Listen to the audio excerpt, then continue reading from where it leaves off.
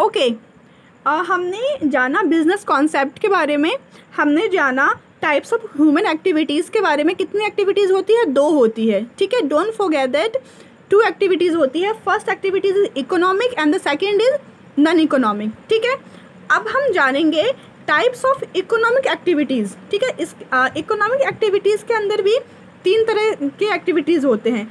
Economic activities can be divided into three categories. इनको तीन category में क्या किया है? डिवाइड कर दिया गया है।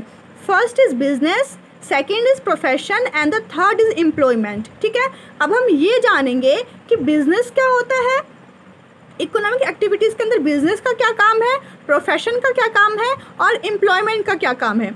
इन शॉर्ट, आप इतना जानो कि जो बिज़नेस होता है, वो हम कोई भी बिज़नेस कर रहे हो। ठीक है? लाइक अगर हम फिशिंग करते हो, फ़ार्मिंग कर रहे हो, किसी का मैन्युफैक्चरिंग किसी सामान का कर रहे हो, या फिर कुछ भी कर रहे हो तो वो चीज़ें जो हम बिज़नेस करते हैं, जिससे हम कुछ ना कुछ प्रॉफिट करते हैं, कुछ ना कुछ अर्न कर रहे हैं, वो बिज़नेस के अंदर आता है। Just like a business refers to those economic activities which are connected with the production purchase sale और डिस्ट्रीब्यूशन ऑफ़ गुड्स और services with the main objectives of of earning profit ठीक है? बिज़नेस के अंदर वो चीज़ें आती हैं जिनसे हम कुछ ना कुछ पैसे कमाते हों, ठीक है? अब बात करते हैं प्रोफेशन प्रोफेशन क्या होता है कि ये एक तरह का प्रोफेशन है कि जैसे कि मान लो कोई वकील होता है, उसका एक प्रोफेशन होता है, ठीक है? अब वो कोई कोई केस लड़ता है, उसके पास कोई केस आता है, वो कोई केस लड़ रहा है, ठीक है? तो वो जो केस जीतेगा तो उसको उसके बदले में पैसे मिलेंगे या फिर कोई डॉक्टर है, ये उसका प्रोफेशन है। ठीक है? तो वो डॉक्टर किसी पेशेंट का इलाज करेगा या फिर कहीं पे वो जॉब कर रहा है किसी हॉस्पिटल में तो वो इलाज करेगा तो उसको उसके बदले पैसे मिलेंगे। ठीक है? ये उसका काम है ये उसका प्रोफेशन है। ठीक है?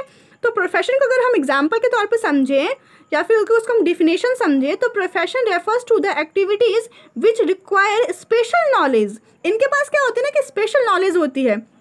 लाइक like, जो बिज़नेस करते हैं जैसे कोई फ़ार्मिंग कर रहा है कोई फिशिंग का काम कर रहा है तो वो स्पेशल नॉलेज नहीं होती है, वो मतलब प्रोफेशन नहीं होता है उनका। उनको सिर्फ़ इतना ध्यान होता है बिज़नेस वालों को कि मुझे पैसा चाहिए बस, ठीक है? उनको सिर्फ़ इतना ध्यान रखना होता है कि मैं जो अपना काम कर रहा हूँ, उससे मुझे कितना प्रॉफिट और कितना लॉस हो रहा है। बट जो प्रोफेशनल होते हैं, उनको इनसे नहीं होता। उनका काम होता है उनकी ड्यूटी होती है कि वो जो भी उनके पास नॉलेज है, जो भी उनके पास स्किल्स है, उसको एक्सप्लोर करना और वो जो एक्सप्लोर करते हैं या फिर वो जो चीज़ें बताते हैं, समझाते हैं या फिर डॉक्टर पेशेंट का इलाज का ट्रीटमेंट करते हैं, उनके बदले जो उनको फ़ी मिलती है, वो प्रोफेशन के अंडर आता है। ठीक है? Now the last is employment employment refers to an activity in which an individual works regularly for another person and get remunerated in return. Those who are employed by other are now as employees. The person who engaged other to work regularly for the for them are now as employers. The remuneration paid by employers to employees is now as salary और wages देखिए ये जो होता है ना ये जो आ, हमारी होती है एम्प्लॉयमेंट इसमें क्या होता है कि ये किसी के लिए काम करते हैं। बिजनेसमैन किसी के लिए भी काम नहीं करते, वो सिर्फ़ अपने लिए काम करते हैं, ठीक है? जो प्रोफेशन होते हैं, वो, उनके पास जो स्पेशल नॉलेज होती है स्किल होती है, उसके बिहाफ पे वो काम करते हैं। बट जो एम्प्लॉयमेंट होते हैं, वो किसी अदर इंसान के लिए काम करता है, ठीक है? उसको उसकी सैलरी मिलती है। फॉर एग्ज़ाम्पल अगर हम बात करें तो working in office banks insurance companies shops as a manager clerk peon salesman ये लोग क्या करते हैं? ये लोग खुद के लिए काम नहीं करते, ये लोग दूसरों के लिए काम करते जिनके बदले इनको पैसा मिलता है। ठीक है? अब देखिए, मैंने यहाँ पे एक छोटा सा चार्ट बनाया है ह्यूमन एक्टिविटीज़ का। मैंने आपको समझाया इन सारी चीज़ों के बारे में बट ये जो चार्ट है, इस पर आप ध्यान से देखो, इसमें मैंने लिखा है कि कितने होते हैं ह्यूमन एक्टिविटीज़ दो होते हैं। कौन कौन से होते हैं?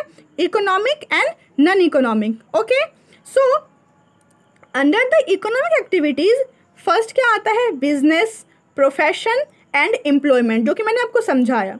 नॉन इकोनॉमिक कौन सा होता है? जिसके अंदर आता है रिलीजन पेरेंचुअल एंड सोशल ठीक है मतलब आप इतना समझो कि जिससे हमें कुछ ना कुछ अर्न हो, कुछ ना कुछ प्रॉफिट हो, जहाँ पे पैसे की बात होगी ना, वो आएगा इकोनॉमिक एक्टिविटीज़ के अंदर। और जहाँ पे लव केयर अफेक्शन इन सब चीज़ों के बाद बात बात आएगी तो वो आएगा नॉन इकोनॉमिक एक्टिविटीज़ के अंदर। I just hope I am clear